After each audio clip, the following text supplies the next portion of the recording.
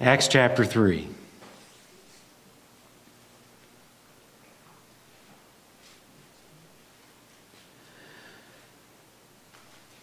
One day, Peter and John were going to the temple at the time of prayer at 3 in the afternoon.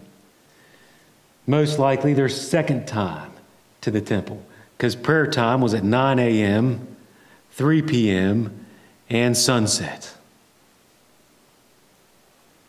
Now, if they're going to the temple, who might they encounter outside and inside the temple? Do you know? Lame man, beggars, and people. There's going to be Gentiles, most likely in the outer court, if there's any there. Then they'll go past the women, and then they'll go closer to the place where they worship and have their prayer. So there's people at the temple, but on their way in, they see a man. Verse 2. Now, a man who was lame from birth. Anybody have the King James Version or the New King James Version? That's okay, either one works. What does verse 2 say, Betty? Well, um, it says that they, they leaving daily. Right. But I only read the first one, two, three, four, five, six, seven, eight. Eight words. And I want you to read the first eight or nine words of Acts chapter 3, verse 2. Okay. And the third man, lame from his mother's womb. What? Was carried. Before he was even born, lame from his mother's womb.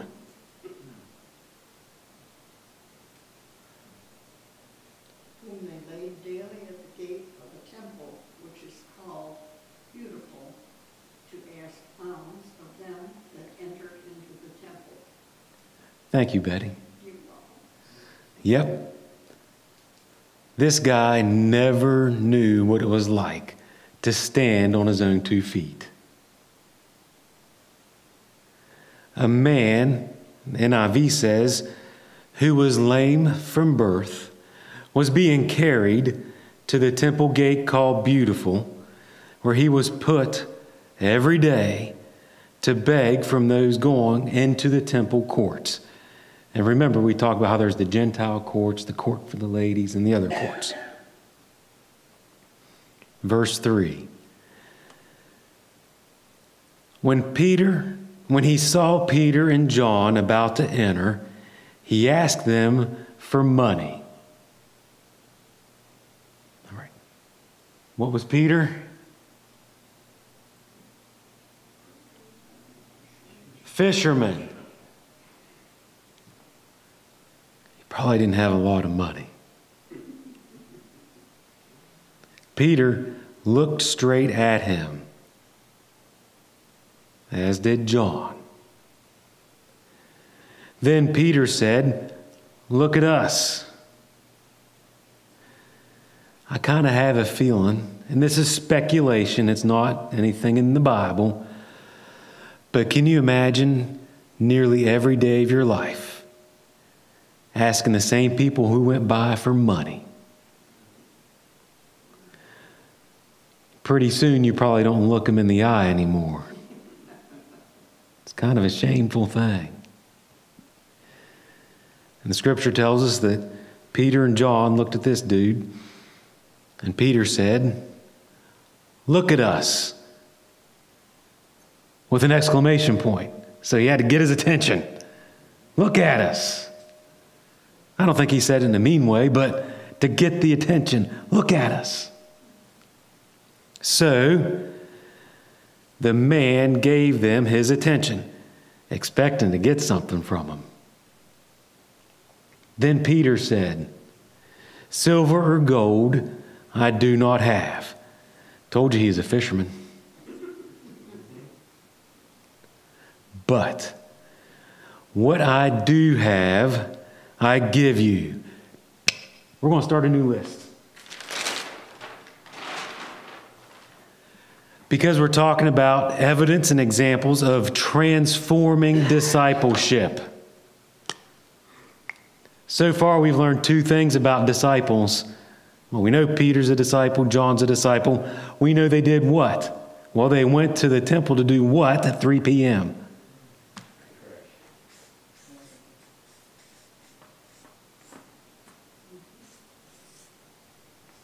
I like this one better.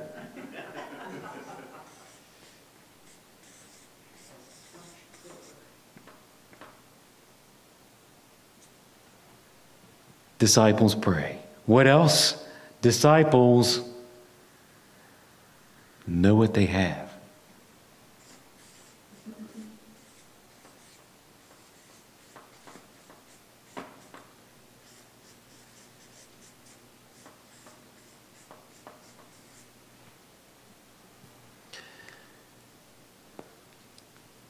In this case, Peter started by saying, Silver or gold I do not have.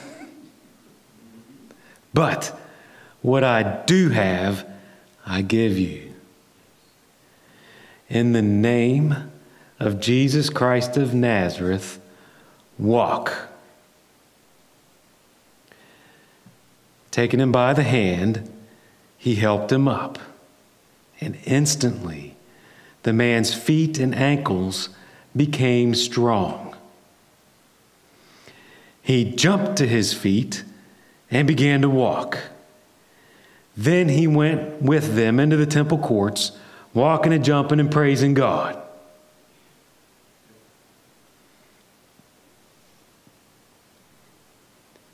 A guy who had never used his legs before. a guy who everyone who's already in the temple courts has passed if they came through the gate called Beautiful. And they'd seen him every day begging. And who did we say was in the temple? People. Gentiles on the outside, women after that, then the others. There's witnesses, witnesses to an amazing miracle. Amazing seems to be the word that comes up a lot in the book of Acts. Keep reading, you'll see. Verse 8 He jumped to his feet and began to walk. Do you know of any toddler who ever just jumped to their feet and started walking? This guy jumped to his feet and began to walk. Then he went with them into the temple courts, walking and jumping and praising God. When all the people saw him walking and praising God, they recognized him as the same man who used to sit begging at the temple gate called Beautiful, and they were filled with wonder and amazement at what had happened to them. Stuff like that just seems to be around Peter and John and the disciples. Look across the page backwards, or maybe turn backwards to Acts chapter 2. Remember, the Holy Spirit came. The disciples are speaking in languages that are not their own. Verse 7 of chapter 2 says, Utterly amazed, they those who heard their own language said, Are not these men who are speaking Galileans? Again, a miracle because they were uneducated, but they're speaking all these different languages. That kind of miracle induces amazement. Again, look in verse 12. What's the crowd say? Or what does the author Luke say about the crowd? Amazed and perplexed. Then go back to chapter 3. Everyone who saw this man recognized this guy who was lame, jumping and praising God. Now they are filled with wonder and amazement. You think, you think Peter's got their attention? I think it's more God got their attention than Peter. But verse 11 goes like this While the man held on to Peter and John, and we don't know why he held on. Maybe he was nervous standing for the first time. Maybe he was so grateful we just, I don't know, when think good things happen, we shake hands, high five, fist bump. We used to hug before COVID. Right hand. Right hand. Where do you see it's the right hand? Oh, right hand, fist bump? Yeah. Oh, where's that? Verse 7, okay, yep. Taking him by the right hand.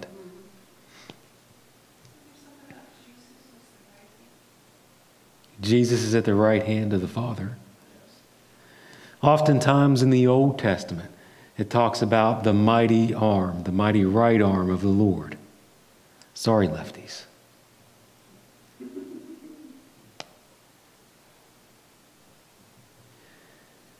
Verse 11 While the man held on to Peter and John, all the people were astonished, amazed and astonished, and came running to them in the place called Solomon's Colonnade. When Peter saw this, what did Peter do? Saw this. Saw what? The people were amazed and astonished. He saw the moment. He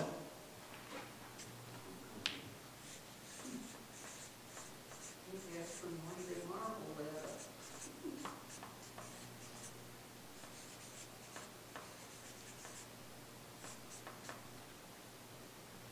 So, disciples, pray.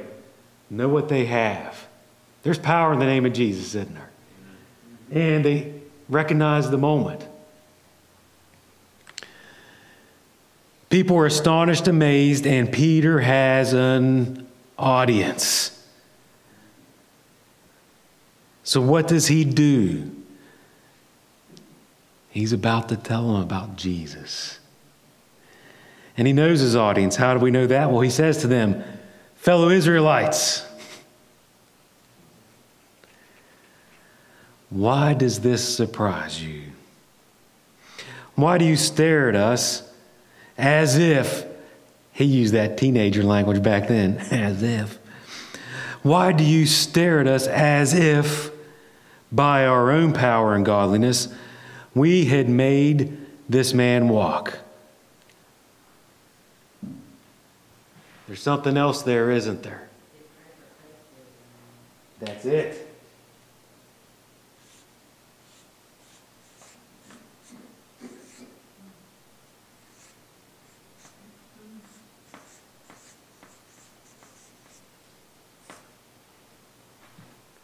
It's not our power. Give credit where credit is due.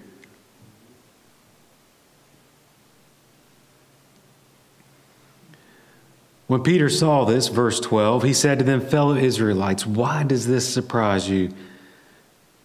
Why do you stare at us as if by our own power or godliness we had made this man walk? The God of Abraham, Isaac, and Jacob, the God of our fathers, told you he knew his audience because that's the language when you talk to Jews. They always talked about the God of their father Abraham, Isaac, and Jacob. And then he really lays it on them.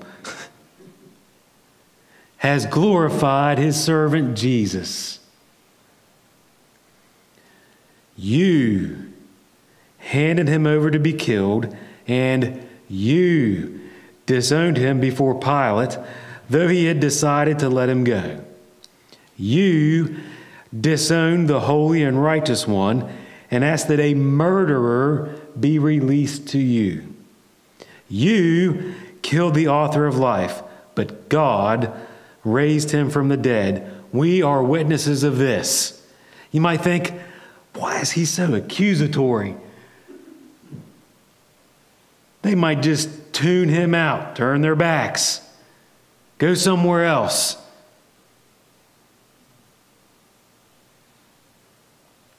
Remember, it's not him who's speaking, right? Well, wait, he might be speaking, but who's speaking through him? Uh, amen. Verse 16. By faith in the name of Jesus, this man whom you see and know was made strong, there is no denying, was there? He's jumping, praising God.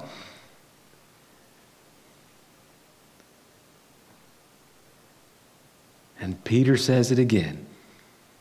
It is Jesus' name and the faith that comes through him that has completely healed him, as you all can see. There's the answer, the explanation to the astonishing, amazing miracle that they're all witnessing right now, right there, right then.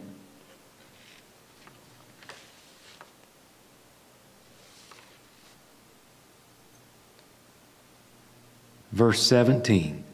Now, fellow Israelites, I know that you acted in ignorance, as did your leaders. So he made all those accusations earlier, which were all spot on and true, factual accusations. And then he says, I know that you acted in ignorance, as did your leaders. Anyone here ever heard of Michael Jr.? Michael Jr. is a Christian comedian. And maybe tonight before you go to bed, Google Michael Jr. Or go on YouTube and watch some of his stuff. He's funny. He's very funny. One, one of my favorite jokes that Michael Jr. tells is he makes jokes about people being oversaved. Like if you don't use a comforter on your bed because you have the Holy Spirit, you're oversaved. Anyway, he talks about how his daughter came up to him crying, upset. Daddy, Daddy, my brother called me a name. He called me something. I said, Settle down, honey. What, well, what'd your brother call you? He called me ignorant. He said, Well, sweetheart, do you know what that means? She said, No. He said, Well, you ignorant.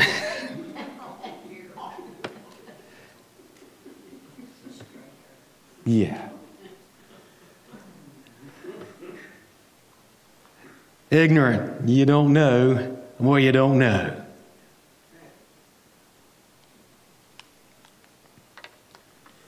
And let me tell you what the Lord's been putting on my heart lately.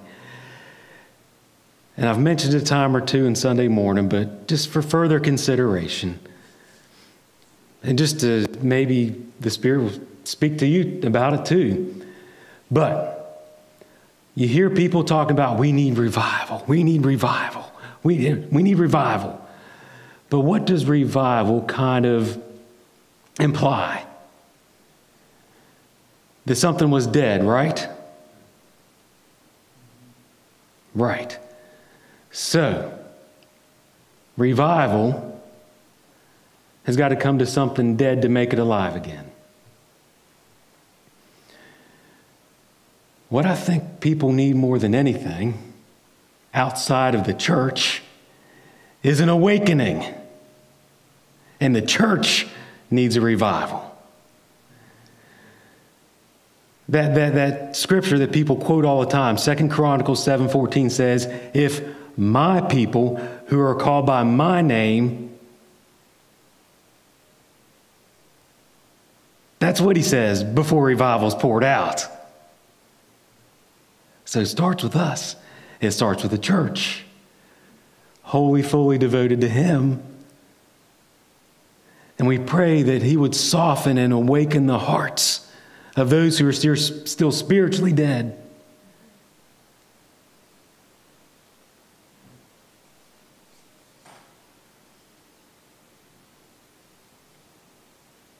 Because they, the world doesn't know they're evil. They just know what they know. It's their nature. And it doesn't do us much good as Christians to say, you're evil. Yeah, we know that's evil, but that's just going to make enemies.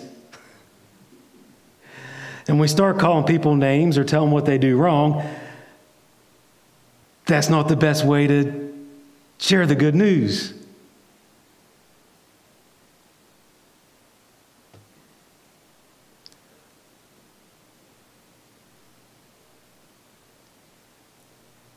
We pray for spiritual awakening. Pray for God to soften the hearts. Be careful of making enemies because who is our enemy? Not people who think differently than us, sin differently than us.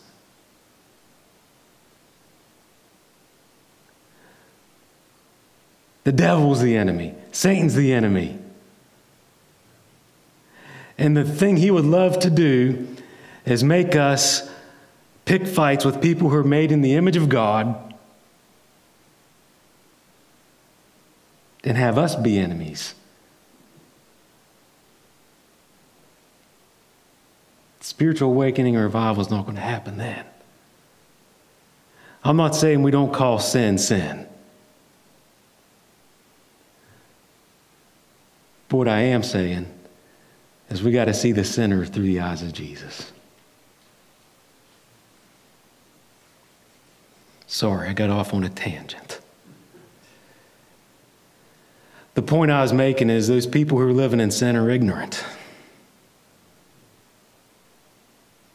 To them, it's just natural. They do what feels good. Exactly. Yep.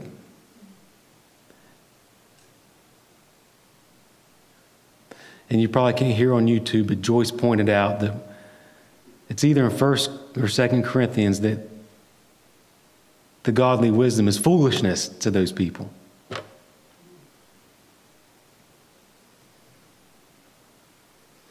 Verse 17, let me get back on track.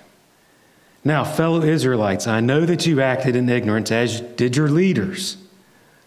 But this is how God fulfilled what he had foretold through all the prophets saying that the Messiah would suffer.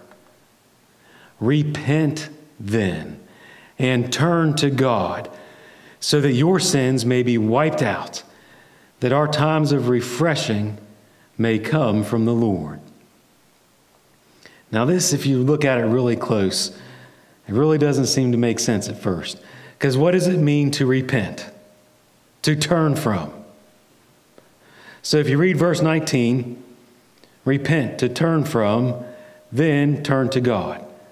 So actually, that makes a lot of sense, doesn't it? It's not two turns in a row, it's a turn from to turn to. You may have said this, but in my Bible I have repent, change of mind resulting in a change of action.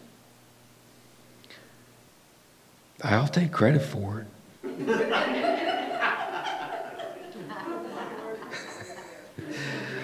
Repent, the change of mind that results in a change of action. That's good. I don't think I said that, but it's good. My Bible says be converted. Be converted. Yeah.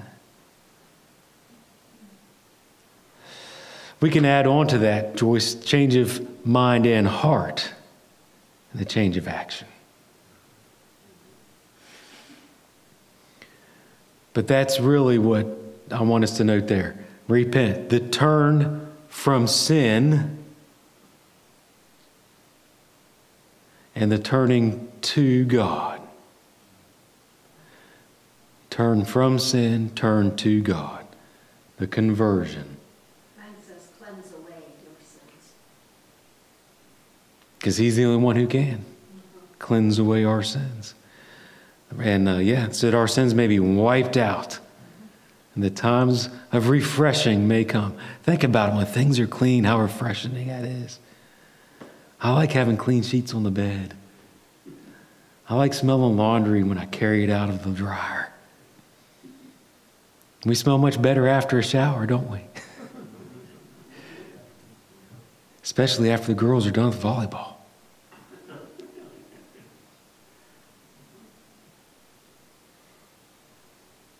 Repent. So you see what the Holy Spirit was doing through Peter when Peter was preaching earlier. Yeah, he was working on their hearts. I hope they felt guilty for what they did to the Son of God, how they handed him over to be killed, how they disowned him. Twice he told the, people there they disowned him. They asked for a murderer to be released, killed the author of life.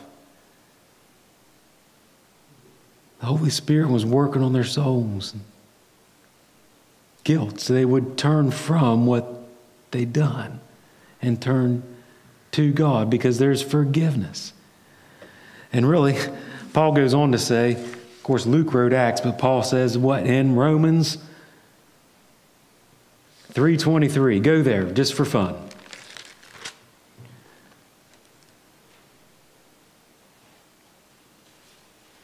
It's only 34 pages in my Bible. You can find it quick. Romans chapter 3, verse 23.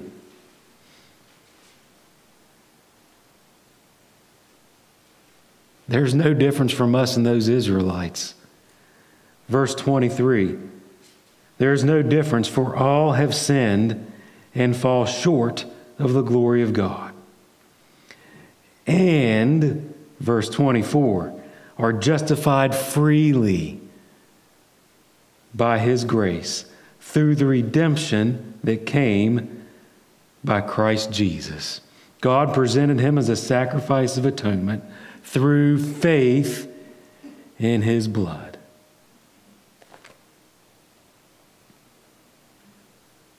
The glory of God is interesting to study. Um, and I've got next to that there, um, Jesus, the only man who showed the glory of God. All people fall sh- fall short of the glory of God. Glory of God, give a correct estimate of God, and we fall short. We do fall short. And only then and through him do we measure up because of him. All because of Jesus. Verse 19 of Acts chapter 3. Repent then and turn to God. Turn from sin, turn to God, so that your sins may be wiped out. That times of refreshing, or as Elaine pointed out, cleansing may come from the Lord. Who does it come from? Not of ourselves. Another great illustration I heard for evangelistic purposes. A preacher I used to like to listen to, he, he'd often have to fly on a plane. And uh, there were times when he just wanted to sleep, not talk to anybody, but then the Holy Spirit would say, You need to talk to this person. And so, you know, the conversation might start about the weather or what do you do for a living. That's often how this preacher would start the conversation. And the guy's, I'm a businessman. I'm, or the lady might say, you know, I'm a businesswoman just flying back to Chicago. Then inevitably they'd ask him, Well, what do you do? And he'd say, I'm a preacher. Oftentimes that'd be the end of the conversation. Other times there'd be conversations, oh, you know, I go to church Easter and Christmas, or, you know, I tried that God stuff and it didn't work out. And he'd pray for an open door where he could share about the line. And he'd have, have them draw a line on their napkin. I know Southwest, sometimes other airlines will give you a napkin with the snacks, draw a line and write God at the top of that line. And what can you do to get there? But before he, had him write down what to do, he said, Now, I want you to write down at the bottom, you know, where we are, down here, where we are. Up here's God. And then I want you to put somewhere in between where we are and where God is, Billy Graham. Okay, I'll put Billy Graham here. You know, just a little under God. And, and other famous preachers or pastors or people from history. And he would explain how no matter what any of us do, that line we could never get above. We just keep hitting it because there's nothing on our own to get us through there. And then he would draw a line with Jesus busting through, explaining that's how Jesus, that's what he does for us. Where there seemed to be no way, Jesus made a way by dying on the cross for us. So,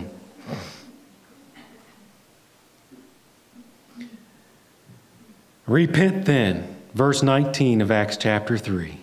Repent then and turn to God, so that your sins may be wiped out, that times of refreshing may come from the Lord, and that he may send the Messiah who is appointed for you, even Jesus. Heaven must receive him until the time comes from God to restore everything, as he promised long ago through his holy prophets. For Moses said, The Lord your God will raise up for you a prophet like me from among your own people. You must listen to everything he tells you. Anyone who does not listen to him will be completely cut off from their people. Indeed, beginning with Samuel and all the prophets who have spoken, and they foretold these days. And you are heirs of the prophets and of the covenant God made with your fathers. He said to Abraham, Through your offspring, all peoples on earth will be blessed. When God raised up his servant, he raised him up from the grave. He sent him first to you to bless you by turning each of you from your wicked ways. Again, by the power of the Holy Spirit, a masterful message from Peter. He appealed to their culture, their heritage. He revealed to them their guilt. He gave them the opportunity and showed them the need to turn from their sin and turn to God. And then he talked about how God would restore all things, because where's Jesus now? He's in heaven until he comes back. That's one thing we don't hear much in church anymore, do we? That was something they always thought about back in Peter and John's day. They were really, really, really looking forward to it. They weren't looking forward to going to heaven, they were looking forward to Jesus coming back. They talked about that more than them going to heaven. Because Jesus is going to come back and restore everything, make everything right.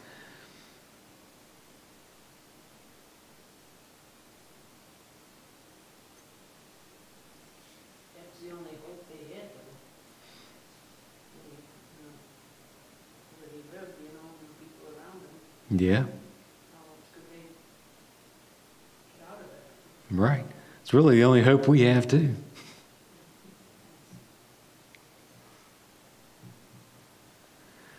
So, that's chapter 3. But what did we learn from chapter 3 before we go to that? Lynn? Can, can, I just want to read one thing that stood out to me like in the beginning and I didn't want to interrupt you before. Absolutely. When he, when he approached the beggar, Mike talks about how the beggar was asking for silver and gold. And one of my footnotes, it talks about how we, we're often pray and ask for things. And, and, and God didn't give him silver and gold. He gave him a different answer to his prayers, the ability to walk. And in that day and age, that's bigger than silver and gold. Yeah, So, you know, when we talk about praying, pray big.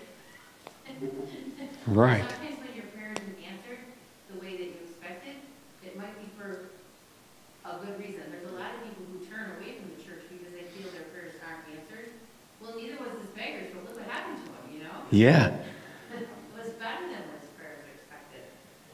And I just think that you have to be in there for the long haul sometimes. And he was up.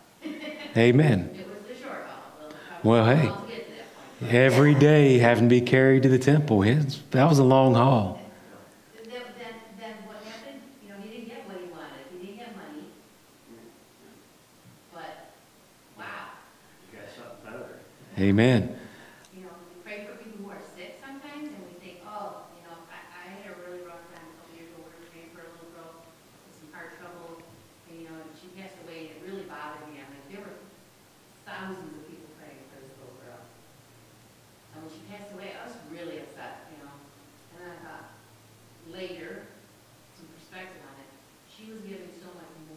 Hmm.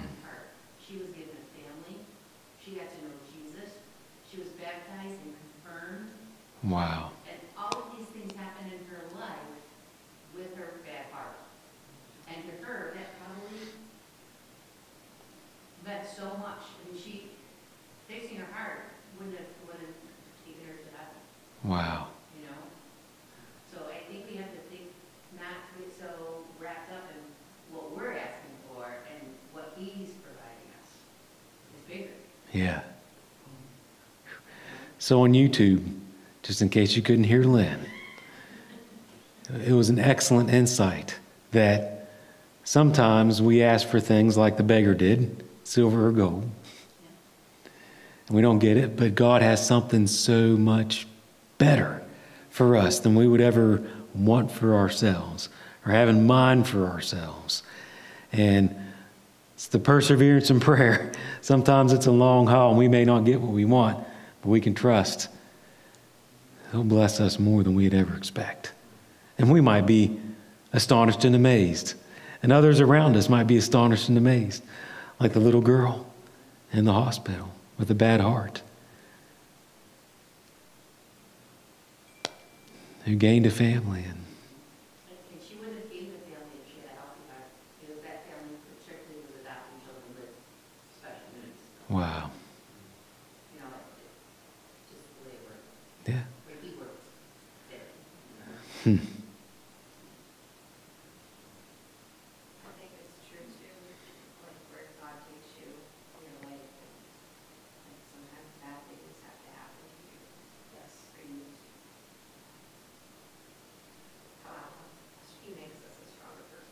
He does. Let him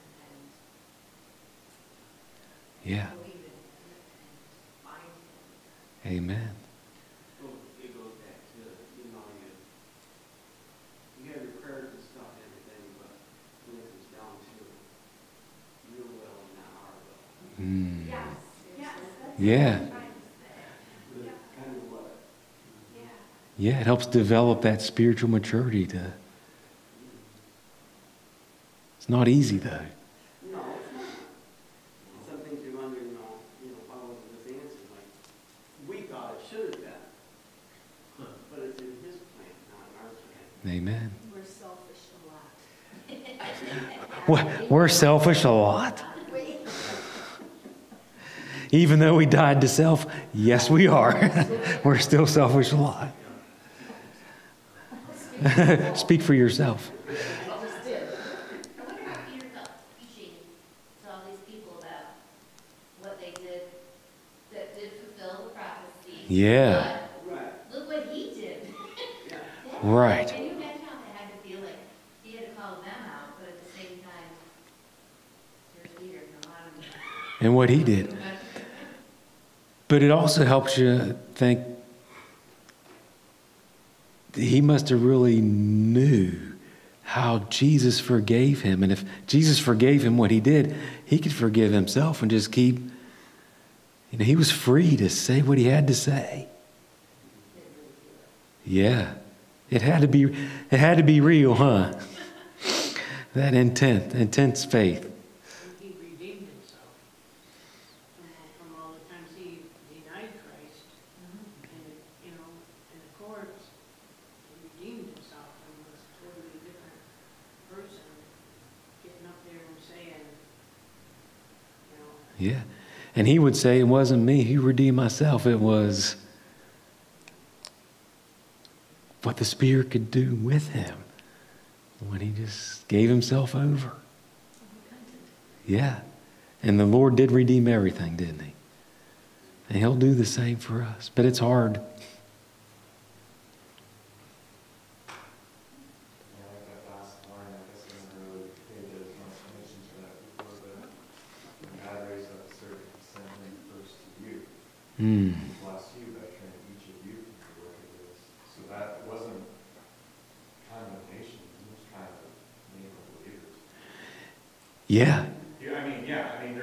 Absolutely. Absolutely. Like, I'm calling you out. Yeah.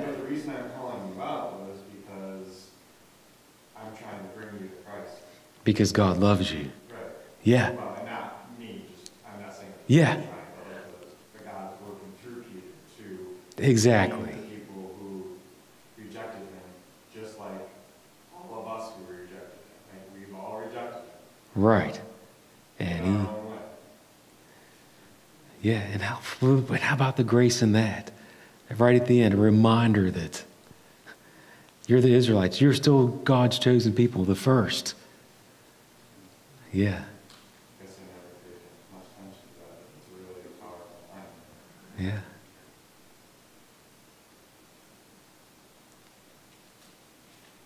I always think about the condemnation here, like how could they, how could they reject him? hmm But we all, we all have that part of us that reject him, you know, and, and turn towards him. He's, he's calling the Jews to, to turn. Yeah. And he had to turn too, didn't he? Yeah, to, to your point, Carol, he had to make the choice to come back.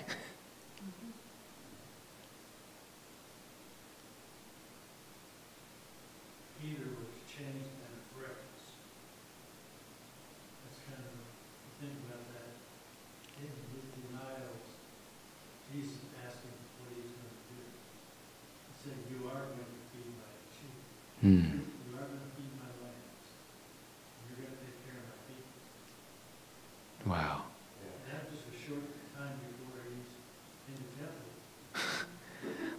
two months. Offering this guy the best thing that could ever happen. Yeah, And that must- maybe three months. That must have been hard facing the question three times. Because I don't think anybody's lost the fact that it was three times he got asked that. No. At the same time of day, just about that he'd betrayed him. Oh, by the way, you love me. Yeah. And now, and what about now? Like, yeah. Ultimate. Because Jesus knew what he was doing when he called him the rock, huh? And what would we do in that position, you know? But Yeah. I think about, like in those school shootings, when young people stood up and said that they would denounce Christ. How we be able to do that? Right. Somebody pointed out at you.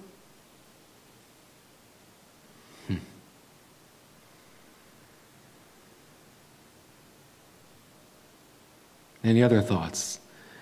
Anything stand out as we were going through that? Thank you for speaking up and having the courage.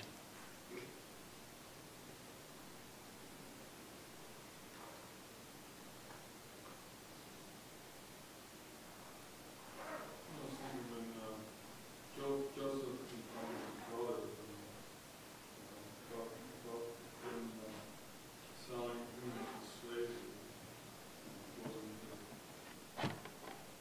wasn't for, uh, they, they had intent for people. Hmm. Yeah. Great point. Lord, we do thank you for your word and we thank you for your perfect plan. We thank you that we can trust you. We know that all your ways are higher than ours and your th- thoughts are higher than ours. And, and Lord, help us in our faith. Help us. Help us to pray. Lord, help us to continue to serve you with humility and give credit where credit is due. And, and Lord, help us to know when's the right time to say what you want us to say or do what you want us to do. And, and Lord, I thank you for just how you work all things together for the good of those who are loved and called according to your purpose. And help us, Lord, as we continue to, uh, to follow you in the good times and the times that are not so good. Lord, thank you for your love for this world and help us to love others well. And Lord, bless the rest of this evening and, and uh, may you just give everyone and their families a great rest of the week. And we look forward to being in your house together to worship you on Sunday. It's in your name we pray, Jesus. Amen.